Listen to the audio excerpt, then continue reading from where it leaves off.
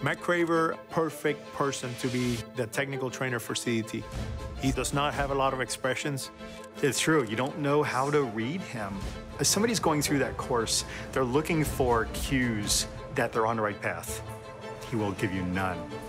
He's got such a poker face. You don't want to guide them. I want them to realize what they're capable of. I want them to do the best job they can. I think it is difficult, and yes, it should be. This isn't for everybody.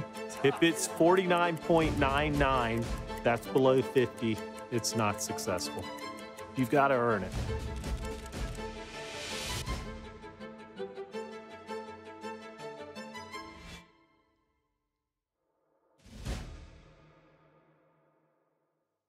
We don't leave a lot of room for guessing and assumptions. They're not part of the process.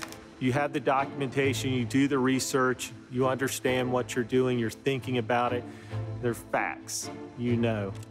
Well, a typical technician process might be if they experience a problem with the vehicle, start replacing parts until the problem goes away.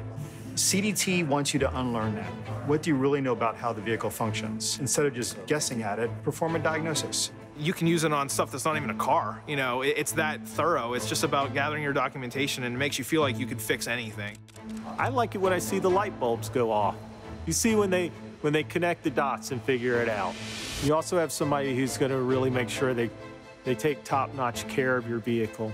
Matt's just, you know, a great instructor. He knows the kind of technician that you are and what you could become. I get a lot of satisfaction out of it.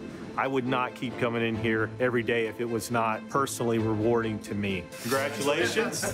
you are the newest CDT. Job, Thank you. I do love what I do.